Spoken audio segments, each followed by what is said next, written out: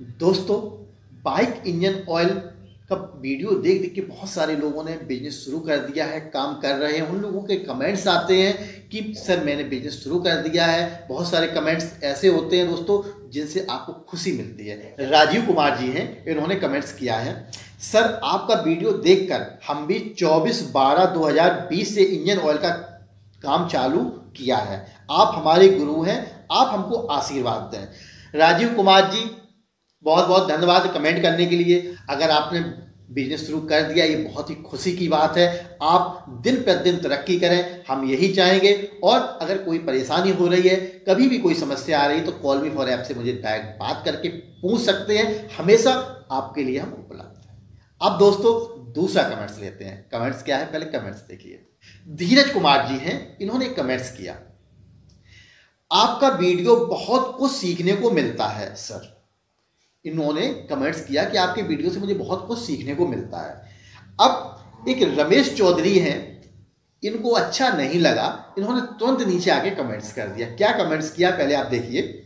भाई, घंटा कुछ सीखने को नहीं मिलता। मतलब इनको कुछ भी सीखने को नहीं मिलता। क्यों नहीं मिलता, उसका कारण मैं बताऊँगा।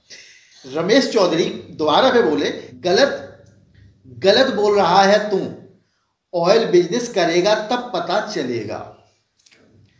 फिर आगे बोले, मैं कर रहा हूँ ऑयल बिज़नेस एक साल से.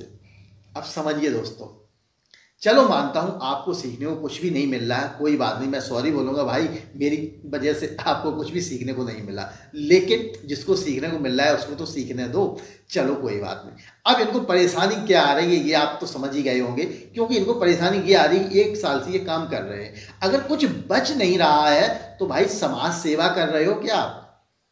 इंजन ऑयल सौ रुपए का, दो सौ रुपए का डब्बा ला उतने भी बेच रहे हो क्या? समाज सेवा तो कर नहीं रहे हो।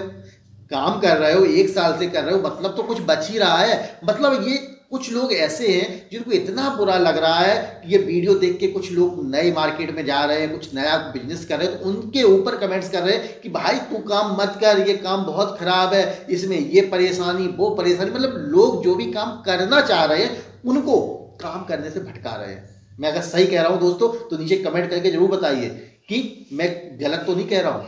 क्या नए लोग जो हैं, जो पुराने लोग काम कर रहे हैं, वह लोग नहीं चाहते कि नया बंदा इस काम में आए? ये अक्सर हो रहा है दोस्तों। बहुत सारे ऐसे कमेंट्स आ रहे हैं। एक वीडियो भी मेरे खिलाफ बनाया गया। मैं वीडियो आपको उसके बारे में बताऊँगा आगे। एक नया वीडियो बना के दूँगा उसके बारे में। लेकिन अभी जो बात कर रहा हूँ, इनकी कीजिए।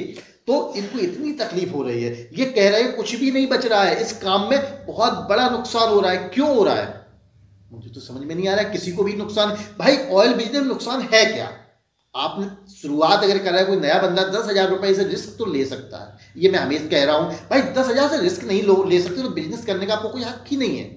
और वो रिस्क भी नहीं है, क्योंकि जितने में आप माल ले रहे हैं, इतने में तो आप किसी भी दुकानदार को दे दोगे। फोर व्हीलर दुकान पे चले जाइए, जो मैं कहने को होगा, वहाँ पे जाके आप दे दोगे, वो भी रख लिया, क्योंकि उसके यहाँ भी निकल जाएगा। तो ये एक ऐसी चीज़ है, दस हज़ार रुपए का आप रिस्क ले सकते हो। और अगर इसमें प्रॉफिट है, अगर आप बिज़नेस कर पा रहे हो, फिर आपको कोई दिक्कत ही नहीं। हाँ दोस्तों एक चीज़ ज़रूर कहूँगा। बिज़नेस हर कोई नहीं कर सकता, ये एक बहुत बड़ी चीज़ है। क्योंकि जब हम आपको समझा रहे हैं, ये तरीका अलग है, लेकिन जब हम एक्चुअल मार्केट में जाते हैं, वहाँ पर उस चीज़ को समझते हैं तो बड़ी तकलीफ़ होती है। उस चीज़ को समझाने में बड़ा तकलीफ़ होती है। चार लोग बैठे होते हैं, वो चीज़ करने में बड़ा तकलीफ़ होती है। मैं आपको वीडियो दे रहा हूँ। यहाँ पे घर पे हूँ, मैं बना सकता हूँ। लेकिन जब मुझे आप लोग बोलते हैं, भाई, किसी दुकान पे जा रहे हो, वहाँ का वीडियो बनाओ, माल देते हुए वीडियो बनाओ, मैं ये भी वीडियो नहीं बना पा रहा हूँ। कारण क्या है? उसके दो कारण है। एक तो मुझे इसके लिए कैमरा मैन रखना पड़ेगा, जो मैं किसी के पास जा रहा हूँ, वो पीछे से वीडियो बनाए कि, भाई ये देखो विजय भदौरिया जा रहे हैं, अब ये मिल रहे हैं। ऐसा एक बंदा मुझे चाहिए वीडियो के शूट करने के लिए, वो मेरे पास है। नहीं, पहला कारण।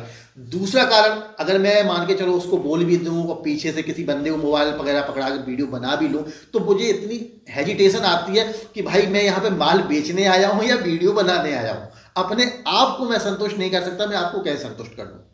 हर काम हर बंदा नहीं कर सकता। जो लोग ब्लॉगर हैं, वो आप देखते होंगे जगह जगह खड़े होकर आराम से वीडियो बना लेते हैं पर मेरे अंदर इतनी हेजिटेशन है अभी। मैं इस काम को नहीं कर सकता। हाँ बिज़नेस कर सकता हूँ। इसमें कोई राय नहीं।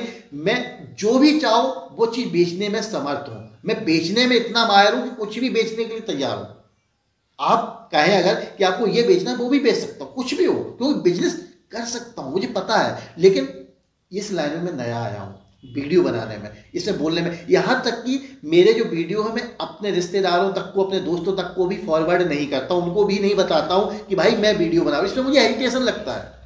तो ये एक अलग चीज़ है। दोस्तों, मैं आपको जो बता रहा हूँ कि आप जब बिज़नेस करेंगे, दुकान पे जाएँगे, बातचीत करेंगे, इसमें एजिटेशन आएगा। हर बंदा बिज़नेस नहीं कर सकता, लोगों को नहीं समझा सकता। ये चीज़ एक अलग है, बिल्कुल डिफरेंट है। अगर आप नौकरी कहीं कर रहे हैं तो नौकरी को बिल्कुल भी मत छोड़िए। आप नौकरी बरकरार रखिए, थोड़ा सा माल मंगाइए रिस्क लीजिए और उसके बाद जब आपको लगे कि हाँ आप मार्केट में सफल हो सकते हैं बिज़नेस कर सकते हैं, आपका बिज़नेस चलने लगा, तब नौकरी को छोड़िए। बहुत सारी मेरे पास कॉलें आती हैं कॉल मी फॉर ऐप से, बताते हैं, मैं नौकरी कर रहा हूँ, मैं इस लाइन में आना चाह रहा हूँ। तो मैं उनको एक ही चीज़ राय सलाह देता हूँ कि कभी भी जो कर रहे हो, उसको मत छोड़ो, उसको तब छोड़ो जब आपको लगे इस लाइन में आप सफल हो रहे हैं। तो आपको क्या करना है? सबसे पहले किसी की बातों पे नहीं जाना है। ऐसे लोग जो कमेंट्स आके कर रहे हैं, वो नहीं चाह रहे कि उसके कंपटीशन में कोई आए, कोई नया बंदा इस बिज़नेस को शुरू करे। भाई, उनका तो नुकसान हो रहा है ना। जिस मार्केट में अभी वो अकेला राज कर रहा है, वहाँ दो बंदे, चार बंदे और हो गए तो उसका स्वयं का नुकसान है। तो आपको क्या करना है? ऐसे किसी भी बंदे की बातों में नहीं आना है। आप अगर काम करना चाह रहे हैं तो स्वयं दस हज़ार रुपए का रिस्क लो, माल मंगाओ और काम शुरू करके देखो। अगर आप कर पा रहे हैं, लोगों से मिल पा रहे हैं, बातचीत कर पा रहे हैं तो बेफिक्र होकर बिज़नेस शुरू कर दो। कोई फ़र्क नहीं पड़ता। अगर बिज़नेस कर लिया ना तो फिर नौकरी की ज़रूरत ही नहीं पड़ेगी और कुछ करने की ज़रूरत ही नहीं पड़ेगी।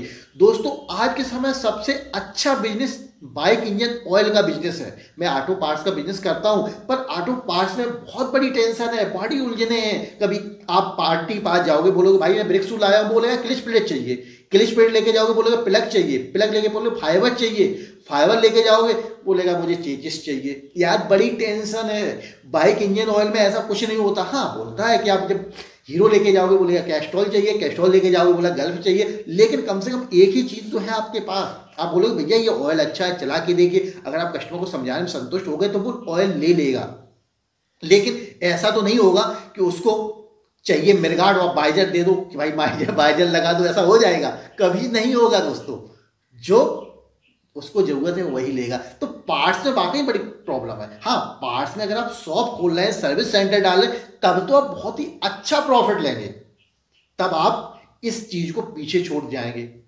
बाइक इंजन ऑयल बिज़नेस को, तब आप बहुत ही आगे बढ़ जाएँगे। अगर आप सर्विस सेंटर डाल रहे हैं या शॉप डाल रहे हैं, लेकिन अगर सप्लाई का काम कर रहे हैं होलसेल का काम करना चाह रहे हैं तो आपको ये समस्या से गुजरना पड़ता है, जो मेरे साथ भी होती है। मैं बड़ी बड़ी दुकानों पर जाता हूँ, छोटी दुकान, सब पे मिलता हूँ तो उनकी समस्या ये होती है कि कुछ आप बताओ तो कुछ बताएँगे वो। आप कुछ चीज़ का ऑर्डर करेंगे, कुछ बताएँगे। आप एक कंपनी बताओगे, वो दूसरी कंपनी बता देंगे।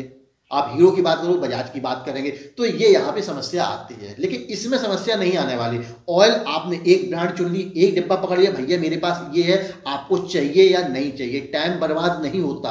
आप पहुँचे, भैया मेरा ये ऑयल है, आप लेंगे, नहीं लेंगे उसने मना कर दिया अपनी दूसरी दुकान पर तो जाओगे? ऑटो पार्ट्स में ऐसा नहीं होता। जिस दुकान पे आप बैठ गए, तब से आधा एक घंटा तो जाना ही जाना है। बातचीत करेगा, समझाएगा, आप उसे समझाओगे, वो अपने प्रोडक्ट के बारे में बताएगा, मुझे ये चाहिए ये चाहिए, इस गाड़ी का चाहिए।